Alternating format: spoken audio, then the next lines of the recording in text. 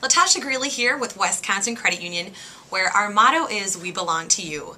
Something that very much rings true here in our high school office is knowing that we are here whether you're a member or not, and knowing that our help is for everyone in the school faculty, staff, students, supporting employees, and that any question that you may have, we're completely open to help you. And I can also take it back to um, one of our main offices and have it answered as well.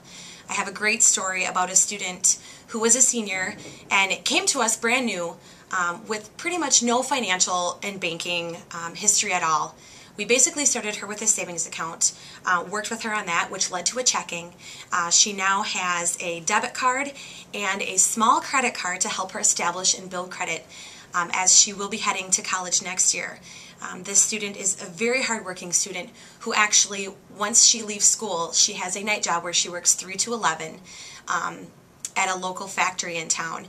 And has to help provide for her family. So us being here and, and really understanding that and helping her make positive learning experiences and changes for the future is really going to change the way that she now lives the rest of her life and will give her um, a lot of positive excitement for college and to build her future.